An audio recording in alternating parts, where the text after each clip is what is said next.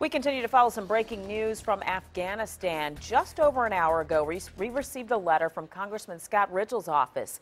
In it, he's asking for the release of David Jordan.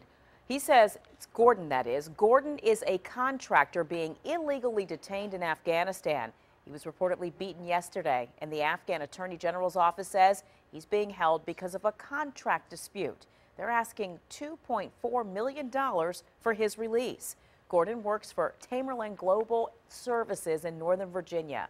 That company offers a number of services, including security and logistics. Rigell has asked the State Department to get involved. We are working to get more information and we'll have more online and tonight at 11. Well,